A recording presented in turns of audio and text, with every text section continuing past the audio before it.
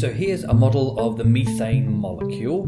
Uh, it's an alkane, and since hydrogen and carbon have approximately the same electronegativity, the covalent bond between them is shared equally. This is a non-polar bond and a non-polar molecule. So nucleophiles. Uh, nucleo, to do with the nucleus, is to do with positive things. So a nucleophile uh, loves nuclei, loves positive things. And so the hydroxide ion is an example of a nucleophile. It loves positive things. It is, after all, negative. But it is not attracted to methane. Methane has no area of positivity.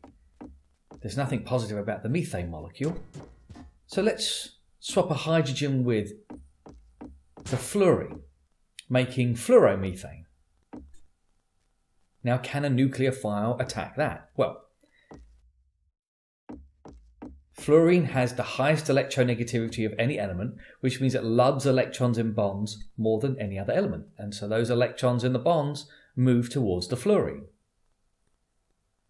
That now makes that fluorine a little bit negative, delta negative, and the remaining carbon is a little bit positive, since those electrons have been pulled away from it in that bond.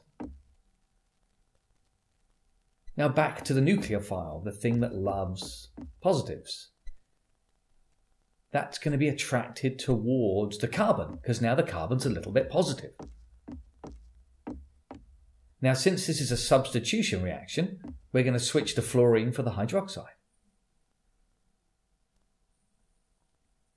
So the fluorine takes that pair of electrons in the bond with it, making the fluoride ion as one of the products, leaving behind a positive methyl ion.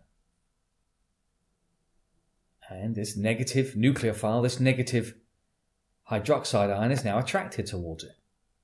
Even more, and it's going to bond on.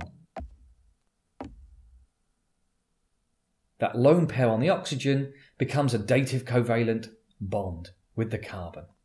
Remember, dative covalent bonds are formed when electrons in the covalent bond come from just one of the atoms in the bond, not from both of the atoms in the bond. That plus and that minus now cancel out, and we've made methanol. So we started with a haloalkane and a hydroxide ion, and after nucleophilic substitution, we made an alcohol and a halide ion.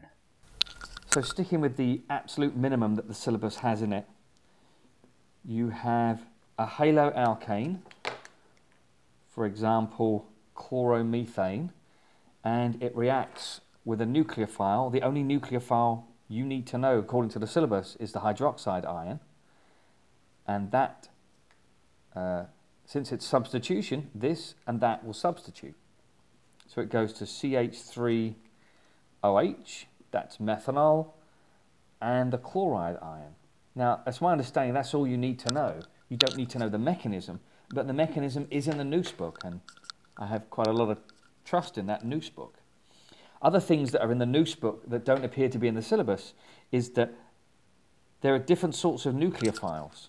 There are different nucleophiles. Other things that are in the Neuss book that don't appear in the syllabus are other nucleophiles. For example, CN minus and uh, ammonia.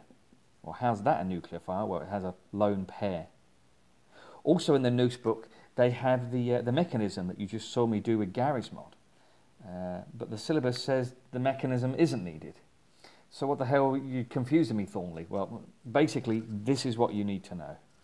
Haloalkane, the one nucleophile you need to know about is the hydroxide ion, and it makes an alcohol and then the halide ion.